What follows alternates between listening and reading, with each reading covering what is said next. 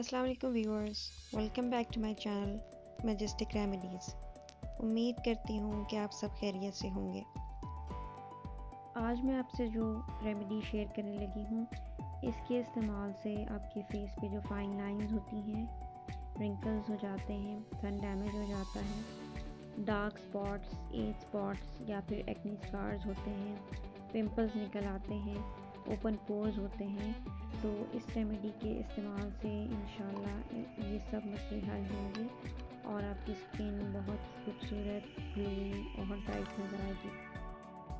चलिए, बनाते हैं। अब हम coffee and banana face mask इस फेस मास्क को बनाने के लिए हमें चाहिए होगा coffee powder one teaspoon coffee में ऐसे एंटीऑक्सीडेंट्स होते हैं जो कि आपकी प्री एजिंग को प्रिवेंट करता है।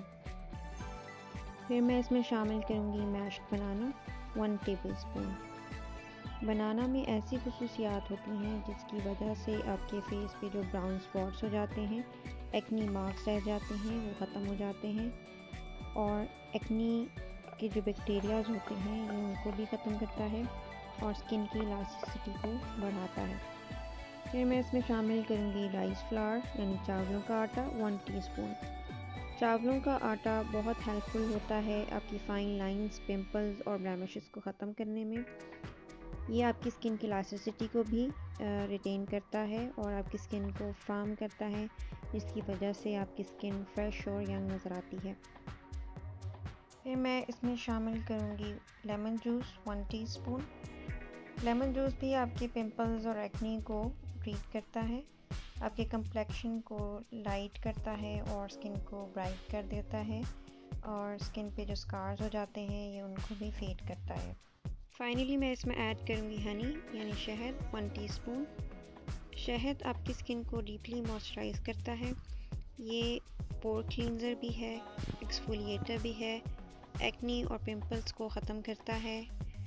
स्किन को हाइड्रेट करके एक नेचुरल ग्लो प्रोवाइड करता है। चलिए मैं आपको बताती हूँ कि इसको कैसे बनाया जाएगा। इसके लिए ये वन टीस्पून मैंने शहद लिया। इसमें मैं ऐड करूँगी mashed banana one tablespoon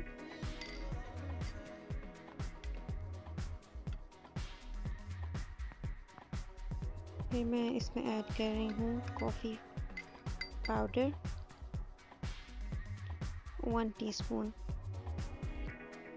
इसी तरीके से अब मैंने राइस फ्लावर चावलों का आटा इसमें डाला।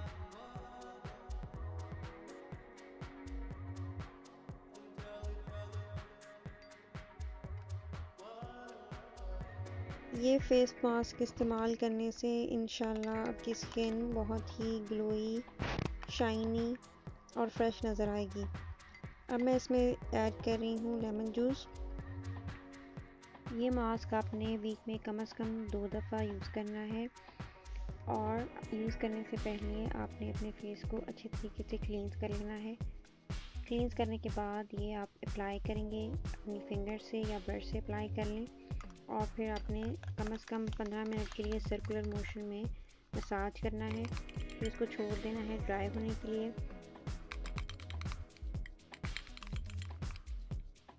ड्राई होने के बाद आपने सर्कुलर मोशन में दोबारा से मसाज करते हुए अपना फेस ठंडे पानी से धो लेना है। धोने के बाद आपने ड्राई करके कोई भी मॉइस्चराइज़र अप्लाई कर लेना है।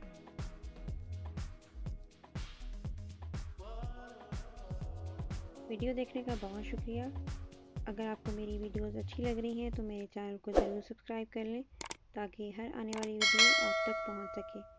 फिर मिलते हैं एक नई रेमेडी के साथ। तब तक के लिए अल्लाह हाफिज़।